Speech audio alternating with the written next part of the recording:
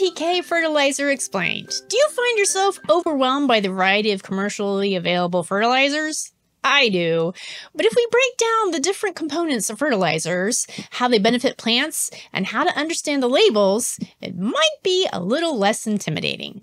Nutrients can basically be divided into two main parts macronutrients and micronutrients. Plants require a larger amount of the macronutrients while they require smaller amounts of the micronutrients. The three main macronutrients needed by plants are nitrogen, represented by N, phosphorus, represented by P, and potassium, represented by K.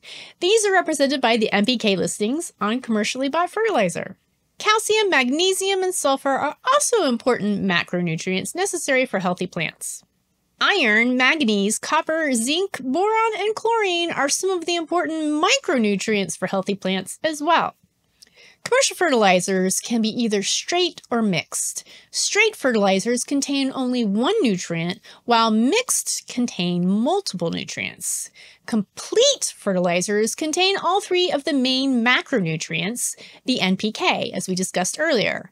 You can tell which is right for you by properly reading the bag. You should see a list of three numbers. This is the ratio of the three main macronutrients, percentage by weight of the container. The first number represents nitrogen, the second phosphorus, and finally the third potassium. If the numbers are followed by a number in brackets, that indicates the percentage of the combined macronutrients in the bag. For example, if the bracketed number is 18, then there are 180 grams of nitrogen, phosphorus, and potassium combined in one kilogram of the bag, while the remaining weight is made up of a combination of secondary macronutrients, trace micronutrients, and fillers. Let's talk a little bit in more detail of these macronutrients. Nitrogen stimulates green growth, therefore, nitrogen rich fertilizer will work best when you want to encourage overall growth. A nitrogen deficiency may be evident in yellowed leaves and or stunted growth. In most cases, the more leaves a plant produces, the higher its nitrogen requirement. Phosphorus is important for root growth and seed germination.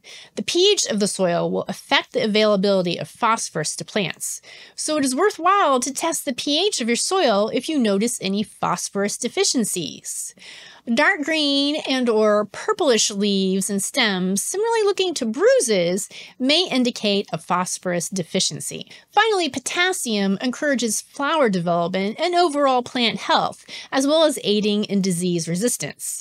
Misshaped or absent flowers or fruit may indicate a potassium deficiency. If you have further questions on understanding fertilizers and their labels, feel free to leave me a question in the comments section of this video.